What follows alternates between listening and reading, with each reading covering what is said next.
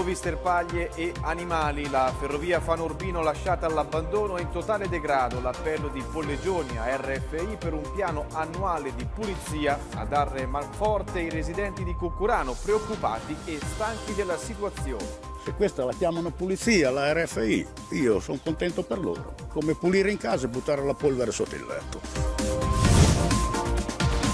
A Cagli da maggio tornerà operativo il poliambulatorio dell'ospedale, a Urbino invece al via lo screening audiologico nelle scuole primarie del comune per mitigare l'effetto della perdita dell'udito.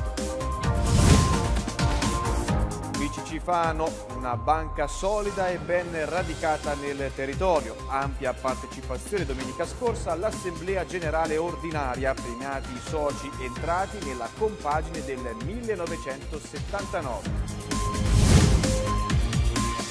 Musei, ristoranti, eventi e itinerari. Ecco la nuova app Visit Fano, disponibile su tutti gli smartphone a disposizione di turisti e fanesi grigliate e passeggiate tempo permettendo. Ecco dove andranno i cittadini e i turisti lunedì 1 maggio. C'è pure chi ne approfitta per un po' di riposo. Penso che faremo una grigliata, qualcosa tra amici. Sì, oppure volevamo fare una scampagnata qui nelle campagne oppure nelle montagne. Dobbiamo ancora decidere in realtà, però comunque rimaniamo vicino a Fano. Musei aperti a Mondolfo e Pinacoteca visitabile a Senigallia, ecco le proposte culturali per il ponte del primo maggio. Fanno un appuntamento pensato per vivere il museo come spazio educativo aperto e inclusivo per i bambini.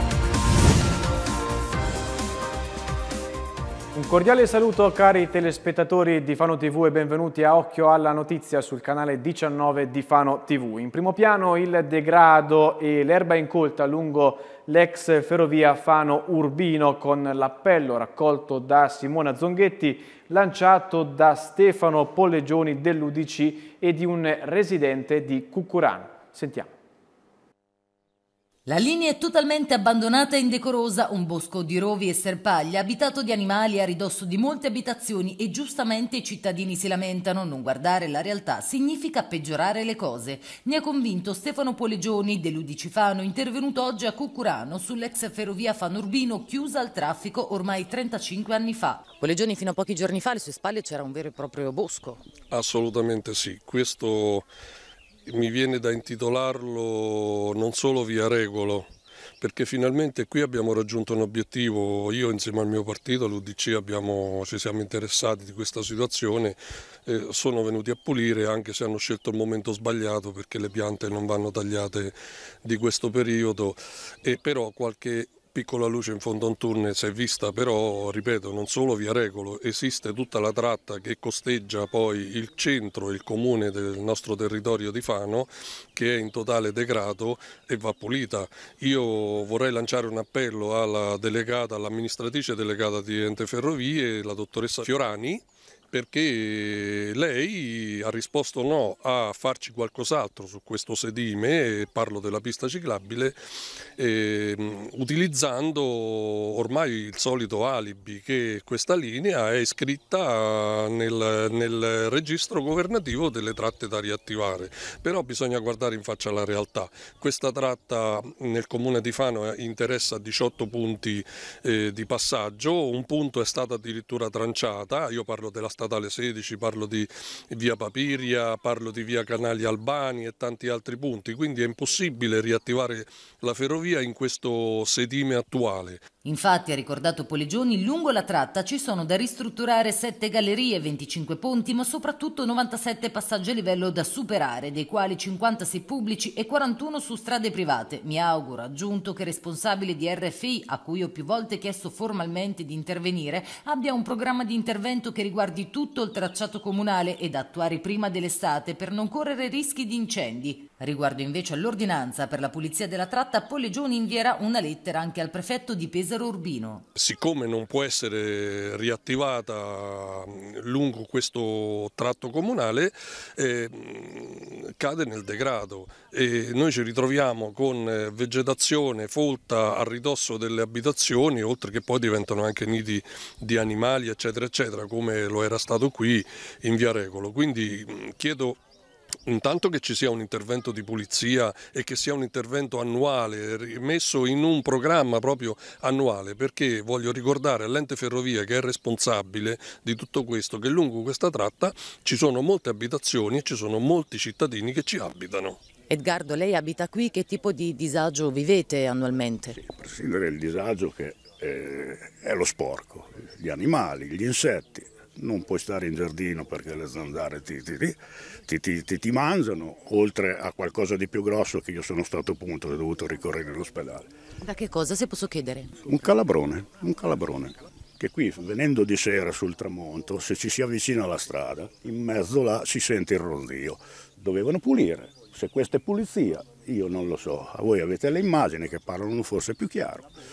Questa è una bomba, quest'estate è una bomba. Si Anche perché hanno coperto la canalina di Scolo? Hanno coperto la canalina di Scolo, che adesso grossi temporali non ce ne sono più, ma noi siamo, in passato siamo stati allagati, è arrivata l'acqua in casa, è arrivata. E questa la chiamano pulizia, la RFI, io sono contento per loro, come pulire in casa e buttare la polvere sotto il letto. E invece di un eventuale ripristino della ferrovia o di un Questi, trenino turistico, che cosa ne pensi? A noi interessa solamente che loro la tengano pulita.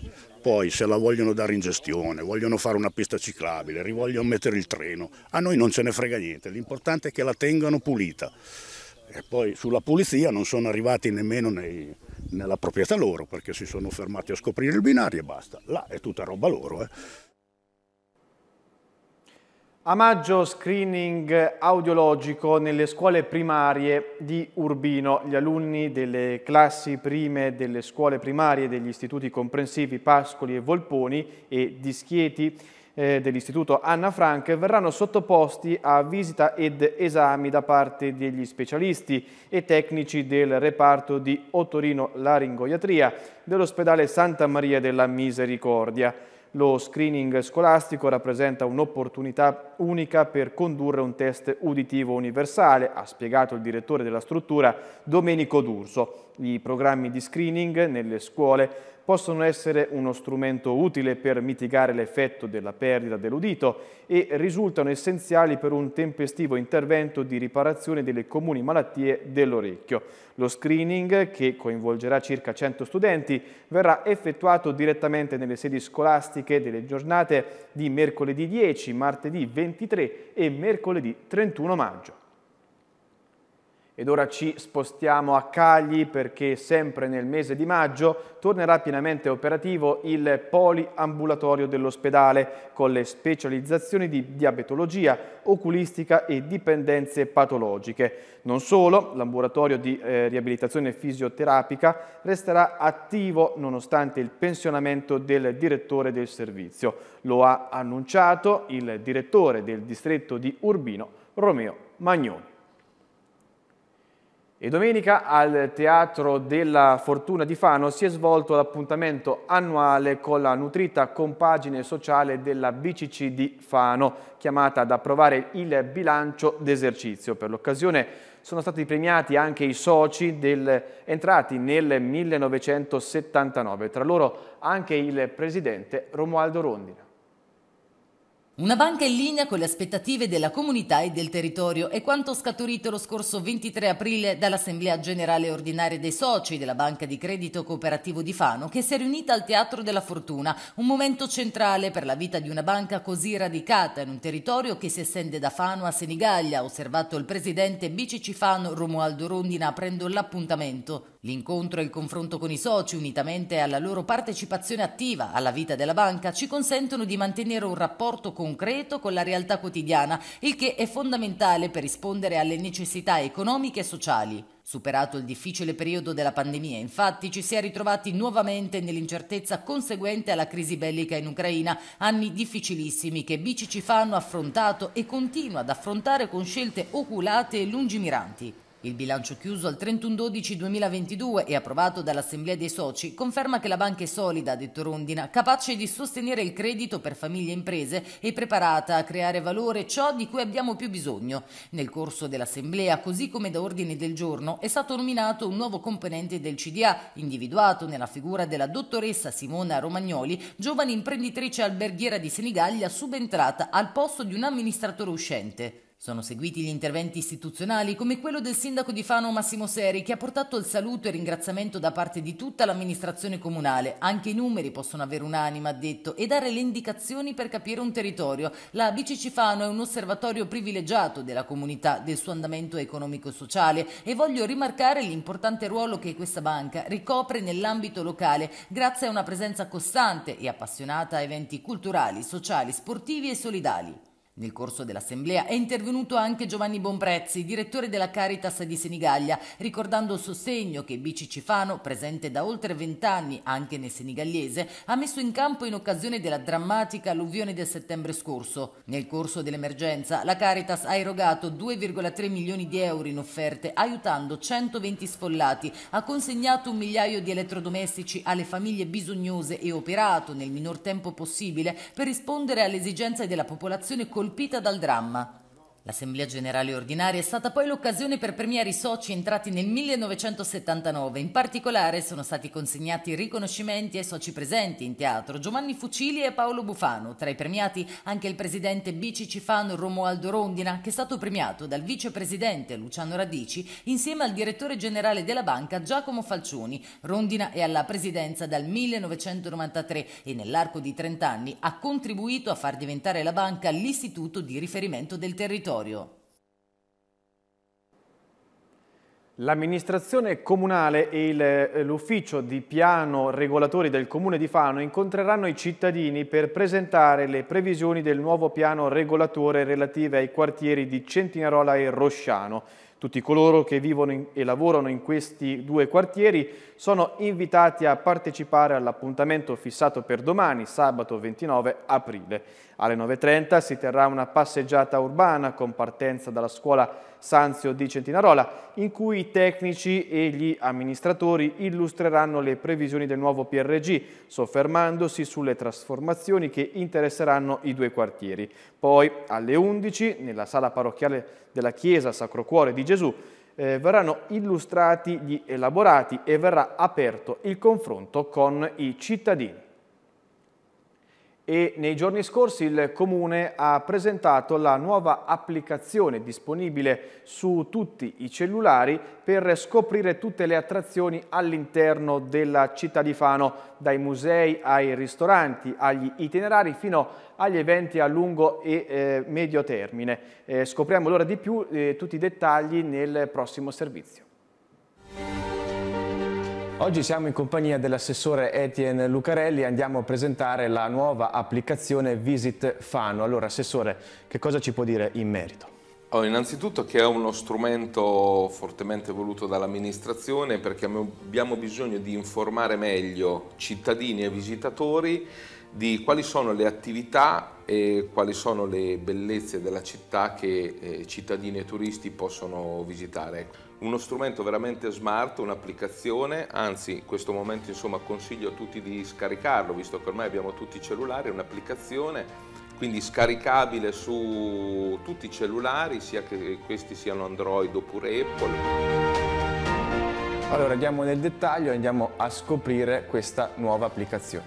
Aprendo l'applicazione eh, si trovano tre punti essenziali, eh, tre vetrine uno che è la vetrina evidenza che dà praticamente tutti gli ultimi eventi a data corta che si tengono nella città, quindi se una persona vuole conoscere eh, le cose che si possono realizzare, gli eventi, le attività che si possono fare nella città, insomma qui si trovano. La seconda sezione che è Around Me ci fa vedere quali sono i monumenti, i luoghi della cultura più interessanti, tra l'altro georeferenziandoli, quindi se una persona si trova in piazza 20 settembre darà prima i luoghi della cultura più vicini a noi. Ma la cosa più importante è che ci dice quali sono gli orari d'apertura, ci dà dei numeri di telefono possibili per magari contattare qualcuno per avere delle informazioni, eh, ci dà la possibilità di, con un tasto portami, di arrivare direttamente al luogo e per indicarci la strada per arrivare direttamente al museo.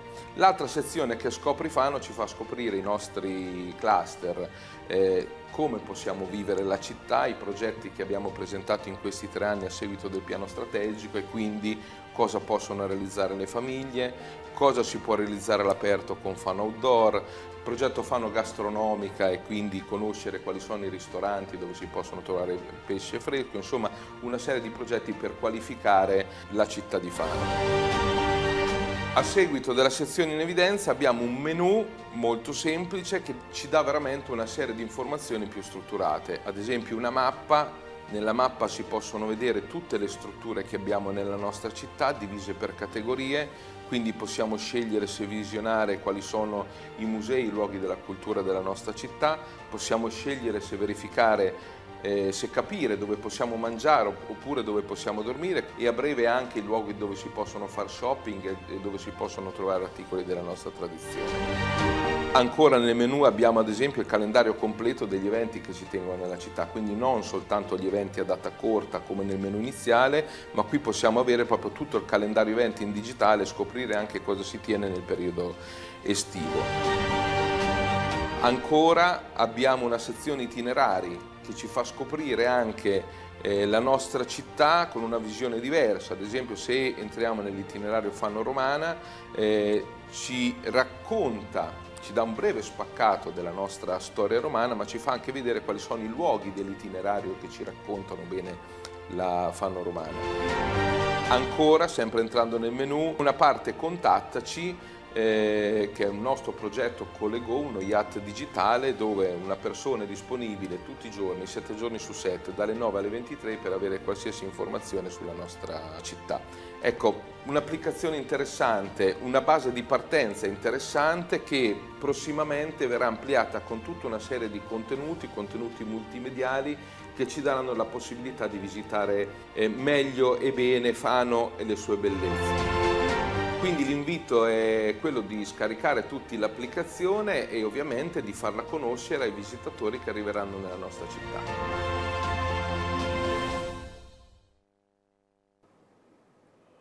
La Regione Marche questa mattina ha presentato Easy PNRR Marche, il portale per il monitoraggio delle risorse che impattano sul territorio e per la semplificazione e la condivisione di informazioni relative al PNRR. Con questo portale, ha spiegato il Presidente Francesco Acquaroli, vogliamo coinvolgere maggiormente tutti i cittadini, gli enti locali e le imprese nella conoscenza delle opportunità che il Piano Nazionale può dare alle Marche. Al momento i progetti già attivi nella nostra Regione, ha detto il Presidente, sono 5.092. Adriabus invece ha attivato eh, l'account ufficiale su WhatsApp per, prendere, per rendere più semplice e tempestiva l'informazione. Si tratta di un nuovo servizio che ha lo scopo di trasmettere notizie, deviazioni, promozione e tutto quello che può essere utile ai passeggeri che utilizzano il trasporto pubblico.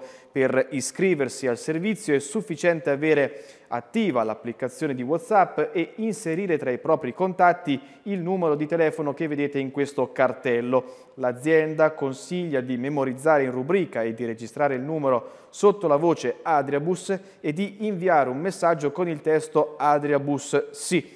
I messaggi saranno poi inviati in modalità broadcast, quindi nessun cliente potrà vedere gli altri contatti iscritti, garantendo così la privacy. E torniamo a parlare delle polemiche sviluppate sui social in merito a Passaggi Festival criticato per il prevalere dell'orientamento eh, politico di sinistra. Al riguardo oggi è intervenuto il dirigente del liceo Nolfi Apolloni Samuele Giombi, il quale ha sottolineato l'importanza di questa rassegna anche per il mondo della scuola e per il liceo in particolare, da quest'anno formalmente scuola partner di Passaggi. Infatti, ha spiegato il preside, la manifestazione dagli studenti in modo di collaborare in vari settori, ufficio stampa, fotografie e riprese video, social media e allestimenti fotografici. Si tratta di attività che spesso costituiscono per gli alunni anche una vera opportunità preziosa di orientamento verso scelte future in campo professionale e di studio. Passaggi Festival rappresenta un valore per la nostra città e il nostro territorio, ha proseguito Giombi. Tanto più che nel tempo la proposta culturale si è affermata in un senso molto aperto sul piano culturale con la presenza di ospiti dalle diverse estrazioni, altrimenti la scuola che, avrebbe, che, vuole avere nel pluralismo culturale un suo punto di riferimento non avrebbe partecipato e non parteciperebbe. Perciò, ha concluso il dirigente, ci auguriamo che il festival cresca e consolidi la sua presenza a Fano. E adesso passiamo al lungo ponte del primo di maggio, dove Cristiana Guerra e Marco Lonigro hanno chiesto a Fanesi e Pesaresi dove trascorreranno queste festività. Sentiamo. Il primo maggio si avvicina, avete qualche programma in particolare? Sì, pensavamo di organizzare una scampagnata tutti insieme, noi e alcuni altri nostri amici. Chivasso, provincia di Torino. Ah, siete venuti a Fano a passare il primo maggio, a trascorrere qualche giorno? Sì, siamo venuti a fare il weekend qua, abbiamo degli amici, siamo venuti a trovarli. Stiamo vedendo un po' il centro, abbiamo girato, siamo andati al mare per cambiare un po' aria. È la prima volta che venite? Sì, sì, sì, sì è la prima volta. Quindi bah, vediamo un po', sembra, ci sembra una bella città. Le previsioni sono eh, schifose, se si può dire, passatemi il termine, quindi sicuramente starò a casa. Con amici, in famiglia? Mm, in famiglia. Eh, sì, forse andrò da lui. Ecco, lei giustamente dice allora verrà a Milano. Esatto, se non sa cosa fare viene su da noi a Milano. Invece di scendere noi vengono loro su a Milano. Ma lei è la prima volta che viene a Fano? Dal 1981. Ah, quindi da tanti anni. Bene, esatto, ci troviamo bene, quindi veniamo sempre qua a fare i ponti, le vacanze, il Natale, quando capita siamo qua. Io vado al concerto del primo maggio a Roma. Tu invece? No, non lo so ancora. Ti decido all'ultimo. Tutto da decidere. Dipende anche dal tempo, forse dalle condizioni meteo. Sì, sì, assolutamente. Penso che faremo una grigliata o qualcosa tra amici. Sì, oppure volevamo fare una scampagnata qui nelle campagne oppure nelle montagne. Dobbiamo ancora decidere in realtà, però comunque rimaniamo vicino a Fano. Io sono della provincia di Piacenza. E qua quindi qualche, trascorrerà qualche giorno a Fano? Quindi. Sì, e devo dire che mi piace molto, è una bella cittadina. Sono appena arrivata da Pesaro, che mi dispiace, ma tanto di cappello a Fano. Da qualche parte in ristorante con la moto però. e dove pensa di andare? Ma penso in montagna, verso Cagli, verso, verso il Furo, da quelle parti lì. Cioè io non, non mi muoverò, non, non farò particolari viaggi, resterò qui a Fano. Al ristorante, con amici? No, no, no, nel caso ci vado da sola che mi piaceva andare molto, ci ho messo del tempo, però vado anche da sola al ristorante, che non c'è problema. Ma stavamo pensando di fare una grigliata tra amici, quindi casa di amici, così. Dopo la grigliata una passeggiata al mare, se il tempo lo permette? Allora, noi siamo un pochino più da montagna a collina, quindi ci sposteremo verso le colline, quindi l'entroterra. Famiglia e amici, diciamo che ci spartiamo un po' così. Al giorno andrà al ristorante? No, sarò a casa. Poi il pomeriggio?